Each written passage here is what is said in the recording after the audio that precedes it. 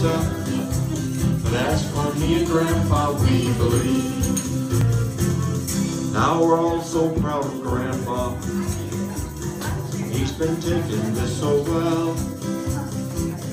See him in there watching football, playing cards and drinking beer with Cousin Mel. It's not Christmas without Grandma. All their dresses dressed in black.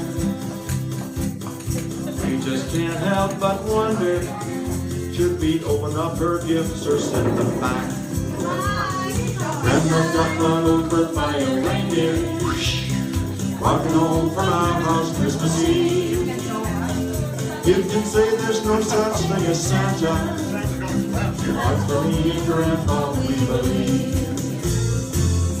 Now the goose is on the table, made of fig, and a blue and silver candle that would just have matched the hair in Grandma's wig.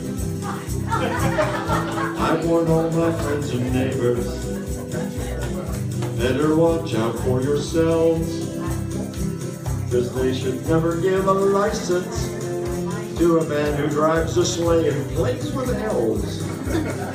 Grandma got run over by a walking home from our house Christmas Eve. You can say there's no such thing as Santa, for me and Grandma, we believe. Grandma got run over by a reindeer, walking home from our house Christmas Eve.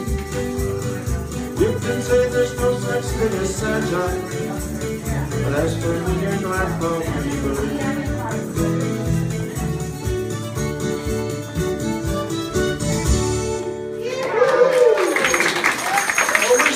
Queen and Germany, what will be done the